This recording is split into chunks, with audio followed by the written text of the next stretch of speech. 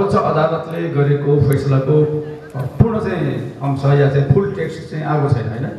फुल टेक्स्टमा उसले के के कुरा उठाएको होला? त्यहाँ त्यो नहेरिकन भन्ने सब कुरा होइन तर मेरो चाहिँ सबैतिर फर्केर मेरो चाहिँ निवेदन के छ भने मुलुकमा सङ्घीय शासन प्रणाली लागू भयो। सङ्घीय प्रशा- शासन प्रणाली लागू भइसकेपछि तिन तहको सरकारको व्यवस्था गर्यो।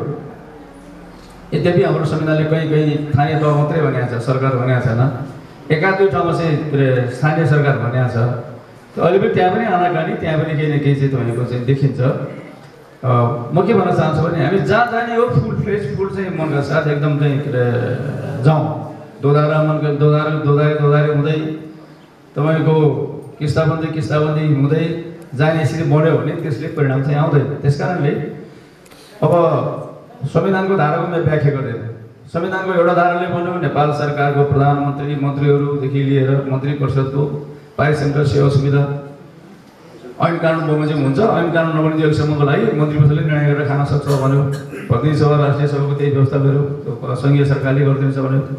प्रदेश सभा र प्रदेश सरकारको हकमा प्रदेश मन्त्री परिषदको हकमा ऐन कानुन बनाएर काम गर्नुपर्छ। पारिश्रमिक चाहिँ सेवा सुविधाको व्यवस्था गर्नुपर्छ। ऐन कानुन नबनिन्जेलसम्मको लागि सङ्क्रमण कालमा चाहिँ प्रदेश सरकारले निर्णय गरेर पारिश्रमिक र सेवा सुविधा लिन सक्छ। प्रदेश सरकारले सङ्घ- अ, प्रदेश सभाले पनि चाहिँ गर्नुपर्छ। प्रदेश सभाको पनि प्रदेश सरकारले गरिदिनुपर्छ भन्ने छ। स्थानीय तहको चाहिँ हकमा चाहिँ स्थानीय प्रदेशको चाहिँ कानुनअनुसार हुन्छ भनेर भन्यो होइन। तर संविधानको धाराले चाहिँ स्थानीय तहको चाहिँ पारिश्रमिक चाहिँ भन्यो सेवा र सुविधा मात्रै भन्यो यही चाहिँ भेदभाव छ भन्छु मैले। सङ्घीयताको मर्म विपरीतको कुरा छैन किनभने राज्यको स्रोत भनेर चाहिँ दुईवटा तिनवटा सरकारमध्ये दुईवटा सरकारको मात्रै हक लाग्छ अर्को सरकारको हकै लाग्दैन भन्ने कुरै हुँदैन। हैसियत फरक फरक होला। प्रतिनिधि सभाको राष्ट्रिय सभाको चाहिँ मान्यहरूको हैसियत उनीहरूको दायित्व उनीहरूको मर्यादा माथि छ। मर्यादा मुताबिक उनीहरूको पारिश्रमिकको व्यवस्था हुने होला सेवा सेवा सुविधाको व्यवस्था होला। प्रतिनिधि सभा राष्ट्रिय सभाको सदस्यको बराबरी चाहिँ प्रदेश सभाको हुन्छ भन्ने कुरा हामीले गर्न पनि मिल्दैन। प्रदेश सभाको हकमा पनि तपाईँको संविधानको धाराले यो उल्लेख गरेर भन्यो।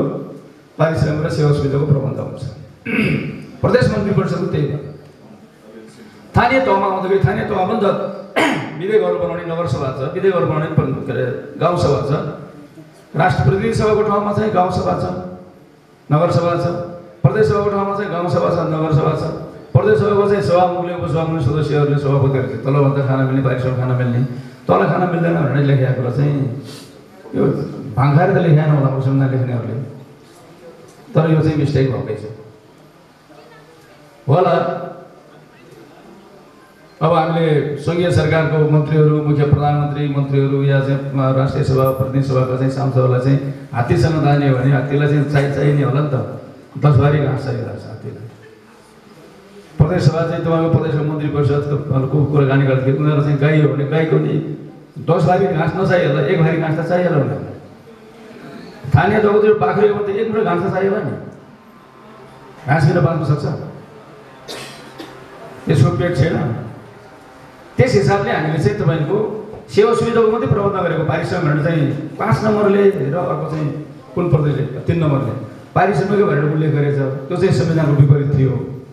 सेवा सुविधाको प्रबन्ध त प्रदेश कानुन अन्तर्गत हुन्छ भने हामीले सेवा सुविधाको व्यवस्था गरेको। त्यस कारणले अहिले चाहिँ निर्णय भएको छ निर्णय हुँदाखेरि अब चाहिँ सर्वोच्चको चाहिँ निर्णयको फैसलाको टेक्स्टमा चाहिँ त्यो कुरा बोलेको चाहिँ बोलेको छैन। बोल्नुपर्छ भन्ने ठान्छु मैले। अब संविधान संशोधन गरेर त्यो जुन धारामा सेवा र सुविधा मात्रै भनेको छ त्यहाँ पारिश्रमिक सेवा र सुविधा चाहिँ संशोधन गर्नुपर्छ। संशोधन गरेर चाहिँ गाउँ कार्यपालिका गाउँसभा नगर कार्यपालिका नगरसभाको उनीहरूकै हैसियत अनुसारको पारिश्रमिक सेवा सुविधाको प्रबन्ध चाहिँ गर्नुपर्छ सरकारले राज्यले किन राज्यको स्रोत भनेको दुईवटा सरकारको मात्रै हक लाग्ने कुरा होइन तिनीहरू पनि जनताको प्रतिनिधि हुन् प्रदेशका पनि जनताको प्रतिनिधि हुन् सङ्घका पनि जन जनताको प्रतिनिधि हुन्। यो फेरि चाहिँ तपाईँको हेगोनी कुरा हो कि? ठुलोले चाहिँ खायो भने ठुलोले चाहिँ गऱ्यो भने सानोले चाहिँ गर्नु हुँदैन खानु हुँदैन भन्ने कुरा चाहिँ हो। यो चाहिँ अन्यायपूर्ण कुरा हुन्छ। यही मान्यताको आधारमा चाहिँ हामीले चाहिँ धेरै पटक चाहिँ कुरो उठाएको हो। र अहिले चाहिँ प्रदेश सरकारहरूले चाहिँ हामीले गण्डकी प्रदेश सरकारले ऐन कानुन बनाउँदाखेरि हामीले के भनेको थियौँ भनेदेखि सेवा सुविधाको हकमा यस्तो गर्ने भनेर भनेको थियौँ। एउटा मानसिकता छ तलले किन दिने भन्ने कुरो? नदिने भए चाहिँ तलको सरकार सरकार होइन भनिदिउँ न। सरकार नभएपछि चाहिँ हामीले हिजोकै गाविस लेभलमा या डेभ- डेभलपमेन्टको इन्डियामा पनि त्यही छ। इन्डियामा ग्राम पञ्चायतहरू छ ग्राम पञ्चायतहरू चाहिँ तपाईँको सरकार होइन त्यो प्रान्तीय सरकार माता हुन्छ कि त भन्थ्यो नेपालको स्थानीय तहहरू सबै प्रदेश सरकारको माता दो भनेर भन्थ्यो।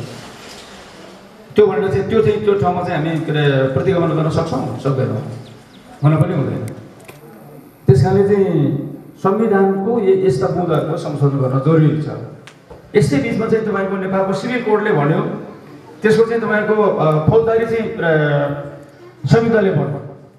फौजदारी चाहिँ अभियोग लगाउने अधिकार सङ्घ मात्रै हुन्छ। यो संहिताको मर्म विपरीतको कानुन आयो।